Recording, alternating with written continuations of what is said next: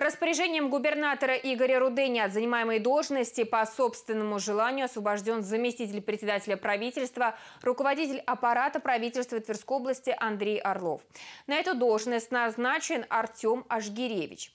Он окончил Московскую академию экономики и права по специальности бухгалтерский учет и аудит, Российскую академию народного хозяйства и государственной службы при президенте России по специальности государственное и муниципальное управление. Повышал квалификацию в НИО Высшей школы экономики, кандидат технических наук. С августа 2019 года занимал должности заместителя председателя правительства Тверской области.